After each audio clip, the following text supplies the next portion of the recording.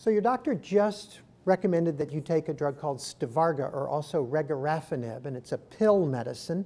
And there's some controversy or change in how the medicine is being dosed. The standard FDA approved way, based on a clinical trial, was to give four pills a day, every day, all at the same time, three weeks in a row with one week off. Well, we recognized that that dose for many patients was too spicy, too many side effects were seen.